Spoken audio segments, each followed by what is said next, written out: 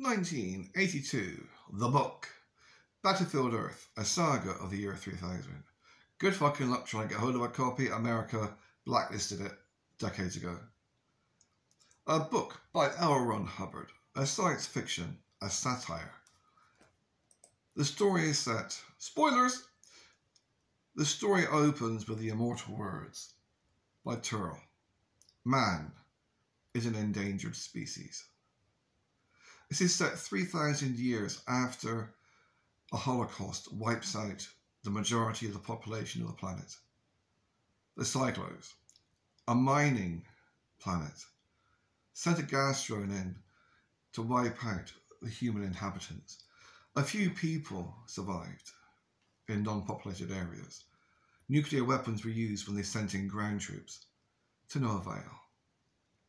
They conquered the planet, they wiped out the majority of the population. Those caveman type people left behind were just in remote areas, hunted for sport by the invaders. The story goes on. It is one of the best books ever written. You can find audio copies online. You can find audio books that have been uploaded, which I've done to my channels. If you do a search on my channels, you'll find a link. You'll just do a search Battlefield Earth and it'll give you a link to the audiobook. I will redo them at some point. It is one of the most emotive, well written stories I have ever read. It is one of those books, if I had to choose one single book to take with me to stay on an island that I could read and reread and reread till my eyeballs melt, this would be it. It has nothing to do with Scientology.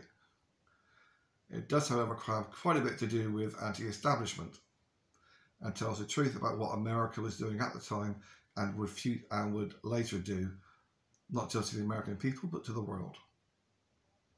It was later remade in a film, quite a few films actually, but the main film of the same name was in 2000 with John Travolta and Forest Whitaker. It was a good film, but it barely scratched the surface of the book.